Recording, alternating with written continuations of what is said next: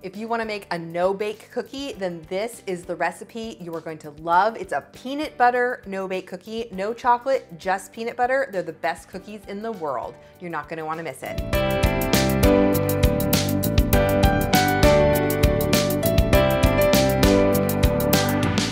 Dorothy with crazyforcrust.com and welcome back to my kitchen. Today I'm showing you how to make no-bake peanut butter cookies without any cocoa. I have the chocolate peanut butter ones um, on here and I'm gonna link those, but um, these are just peanut butter. My mom said they were the best cookies she's ever eaten.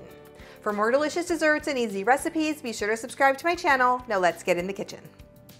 Okay, we're gonna start off with butter. So you're gonna add a half of a cup of unsalted butter um, into a saucepan. Um, I like to dice the butter just so it melts faster. And you're going to heat this over medium heat until that butter is melted. Um, it'll just take a minute or so, get it all nice and melted.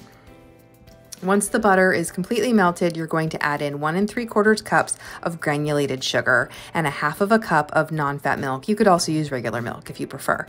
And then just stir this together until it's nice um, and combined until the sugar kind of mixes in with that milk and that butter. And then you're just going to cook this um, over medium, medium low heat um, until it boils. And once it boils, you're going to cook it until it reaches about 230 degrees on a candy thermometer or an instant read thermometer is what I'm using here. And it's really important to get it up to that stage. This will take a few minutes um, if you're not using a thermometer, but a thermometer is the best way to check it. Um, if you're worried about them not setting up, um, it's because they haven't gotten to the proper temperature. So 230 degrees is the magical number.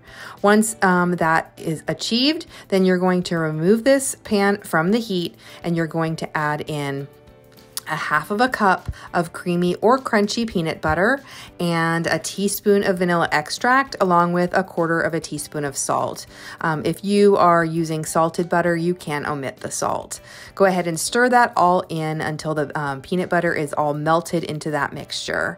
And once that happens, then you're gonna add three cups of quick cooking oats. Um, quick cooking oats um, work best in this. If you only have whole oats, go ahead and make your own by processing the um, whole oats in a blender or a food processor just for a few seconds, a few pulses to make quick oats. And then you're gonna stir that in. The mixture will be nice and loose as you can see. And then you're going to drop these. Um, I'm making two tablespoon size cookies, but you could make them um, one tablespoon. You'll make double the amount. Um, drop these onto a prepared baking sheet um, you want to use a Silpat or wax paper or parchment and just push, uh, scoop these onto it. They'll kind of fall a little bit, flatten a little bit. And then you're just going to let these um, kind of solidify, harden um, for just a few hours. And then they're ready to eat. And that's it. That's how easy it is to make no bake cookies. They set up perfectly. They are soft on the inside and a little bit crunchy and those oats give it a lot of texture. Um, you are gonna love these. They're perfect all summer when you don't wanna turn on your oven, but they're great all year too. Leave me a comment and let me know what other no bake recipes you want and keep watching for even more desserts.